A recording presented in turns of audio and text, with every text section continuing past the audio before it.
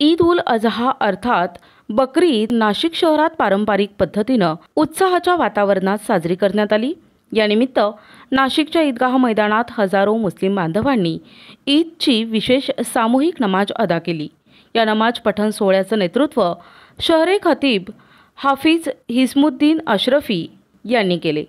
त्याग बलिदानाची शिकवण देणारा हा बकरी ईदचा सण इस्लामी संस्कृतीचा मोठा सण म्हणून ओळखला जातो.